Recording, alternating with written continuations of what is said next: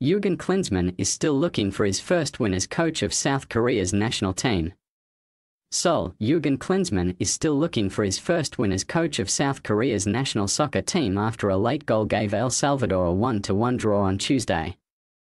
The former United States coach was appointed in February.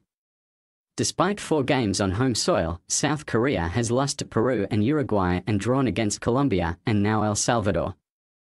It's disappointing that we couldn't get the result, said Klinsmann, a former Germany great who also coached his country's national team. We had opportunities to score more than four goals but couldn't capitalize on them. South Korea's last victory came at the World Cup when the team beat Portugal in the group stage in Qatar.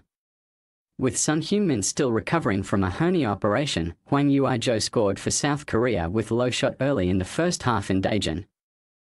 Alexander Roldan, who plays for the Seattle Sounders, scored a late equalizer by heading in a free kick. El Salvador lost to Japan 6 0 last week.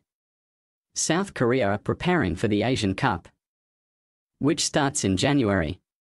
I also have memories of not scoring during my playing career and it can be very frustrating, Klinsmann said. The only thing we can do is to work hard on the training ground. We will regroup in September.